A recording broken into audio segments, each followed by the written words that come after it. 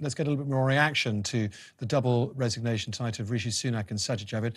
From the Conservative MP for Hitchin and Harpenden and a Vice Chair of the Conservative Party, Bim Afolami. Bim joins me in the studio now. Bim's a regular member of the News First panel, so it's very pleasure to, to see you, Bim, a little bit earlier.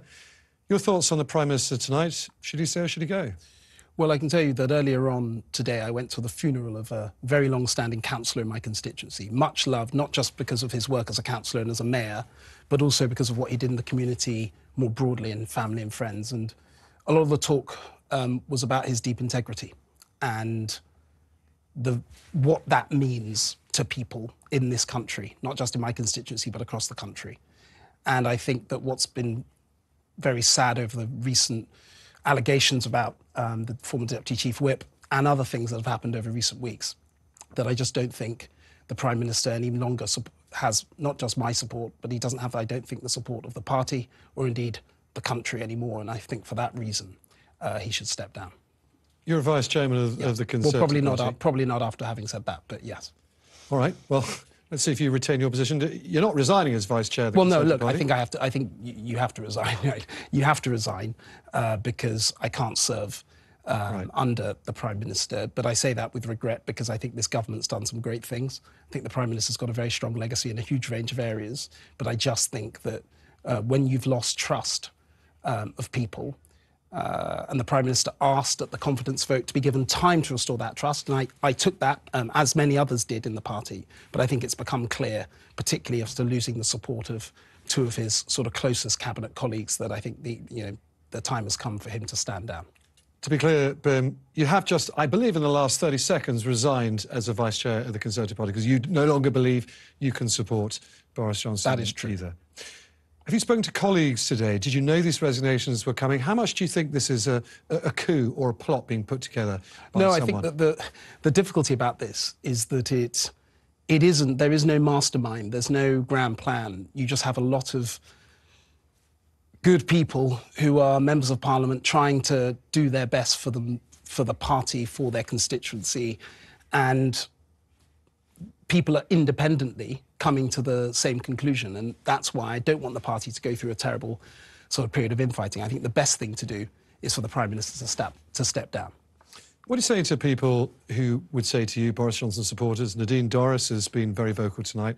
We believe Ben Wallace and Michael Gove are still supporting, they've been slightly less vocal anyway, that this was a Prime Minister who only two years ago delivered you a majority of 80.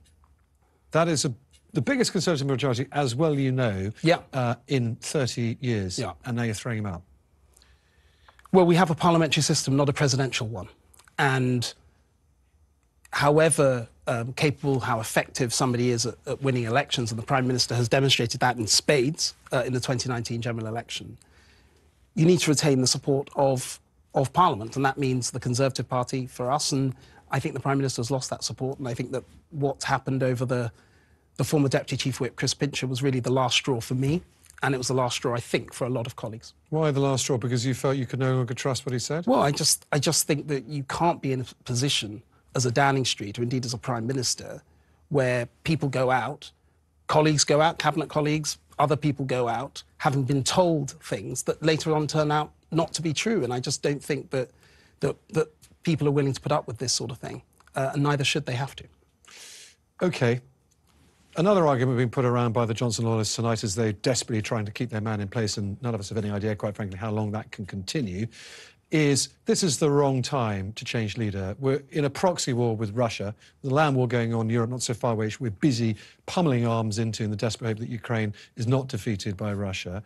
We're in a cost living crisis. Inflation's almost at 10%. Mm. The last thing the country really needs, no matter how incompetent the leader might be or how incompetent you think he might be, is a protracted, painful, long, soul-searching leader con leadership contest in which you lot rip each other apart for three months. No, it's not a good outcome.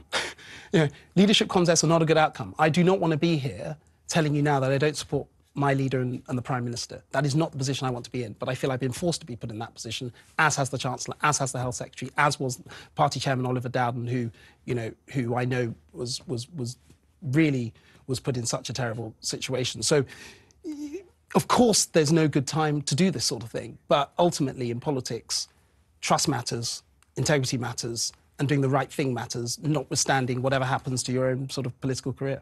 All right. Well, um, the, the natural sequitur is if you don't want Boris Johnson as Prime Minister, who do you want? You I- must have some idea what you're No, going to do. I, I think there are there are many people who are uh, able and will see in the if there's an upcoming leadership contest, you know, in due course, what, what happens. Obviously, I, I have no idea.